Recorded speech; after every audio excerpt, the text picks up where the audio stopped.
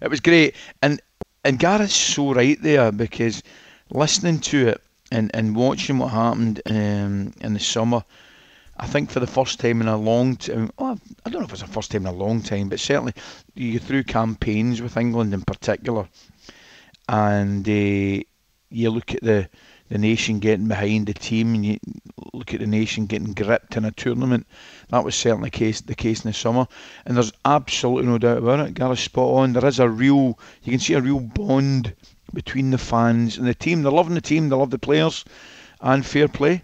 Uh, yeah, long may it continue, and I think it will continue for the foreseeable future. I look at that England squad, and I think the, the England fans are absolutely well within their rights to be excited by it. Can we talk about Jude Bellingham? He's magic, that guy. Isn't he magic? Isn't he? Um, watch the highlights. He, he, he looked terrific. It's a kind of it's a difficult game to gauge. Would you really? You know what I mean? Because in many ways, the, the England boys are on a hiding to nothing. You know, because mm. sitting at one nothing and you know, listening to Pearson and the boys, it's they're saying, you know, you know, playing okay, should be three or four, and then all of a sudden it is three or four. Okay, I, I thought it might be six or seven. You know, it's one of those kind of games. It's a little bit unfair. It really is. So you can just look at it and you can only comment on what you see. And I thought there was some good individual performances from what I saw in the highlights. And Bellingham, it's great. I mean, another one that you know, really exciting talent. Probably a little bit under the radar in the respect that he's not a Grealish, he's not a Foden, he's not one of these guys. Mount, but at the same time, what a talent! Did you me. did you see? You might not have. I'm not sure if they put it in the highlights or not. But basically, there's a, a, a moment where he, he beat three Andorra players. Um, he gets sort of dropped to his knees. He gets yeah. up, still manages to win the ball off them, nutmeg someone, and then and then carries on. And and I, he's just so strong and so confident. Um, at the age that he is, Ally, you just think he's going to be a monster, isn't he? Oh, absolutely, absolutely. That, that that's what I'm saying. I, mean, I, I, and I said it before the Euros. You look at that England squad, and I, I can't remember. Honestly, God, which? I can't remember a, a, a squad as strong, you know, with great depth. Yeah. That Gareth has got at this moment in time, and and barely, and, and, and, and a lot of them of a very very good age, with the majority of their international career ahead of them. So no, Bellingham's a player, really is. You know, and you talk about Sancho. You, as I say, you talk about Grealish is, is coming on again. You know, you you they're, they're now beginning to look to Grealish.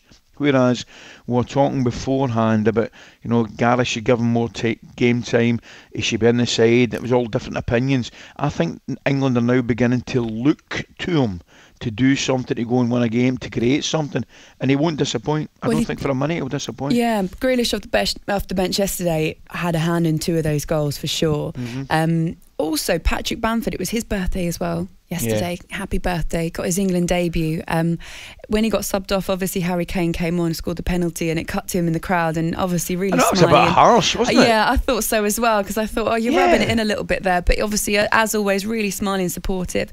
Um, these kind of debut games as well, as, as you're saying, Ally, difficult to gauge a lot of things from that. But how did you feel that he did? He, he didn't get his goal. He did fine. He, he yeah. did absolutely fine. Listen, he warranted and deserved it, in my opinion, his opportunity. Um, listen, being an ex centre forward, uh, I probably know how he feels. There'll be uh, there'll be a tinge of disappointment that he didn't score. You know, particularly against a team like Andorra. You you know, he went into that game thinking, "Wow, I've deserved my opportunity. I've got my opportunity." You know, I, I want to get a couple of goals, certainly a goal or a couple of goals here. He didn't get it, but at the same time, you know, absolutely fine, not a problem. As I say, he's warranted his selection, and Gareth, you know, you heard him speak after the game there about his performance. He'll be pleased with his performance, but if you're going to be honest, he, I don't care what anybody says. There will be a little bit of disappointment that, uh, he didn't score. Mm, definitely. Um, Trent Alexander Arnold, let's discuss him because started in midfield and there have been some calls actually yeah. for that to happen.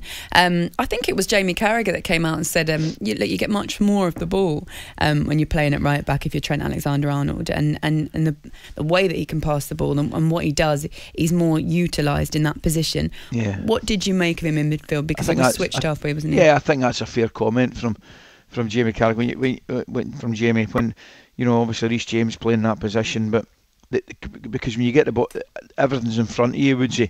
The game's entirely in front of you in that position, so you can see it, you can get the ball, you can look up. Whereas if you're one up, you, you know the, the game going behind you, in front of you, there's more going on around you.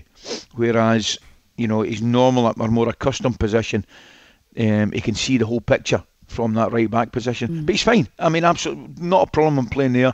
He, he's a he's a great player, tre- tremendous player um, going forward. And as I'm saying, I'm just looking at that, looking at the team. You know, as I say, Reece James I've mentioned. I mean, it's a prop, proper side.